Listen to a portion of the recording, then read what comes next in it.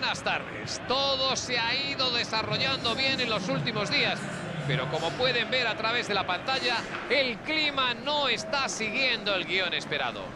Todavía queda sitio para el optimismo. Pese a las circunstancias, el ambiente aquí hoy es tremendo.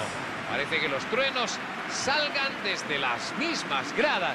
Y es que todo el mundo ha venido a aportar su granito de arena.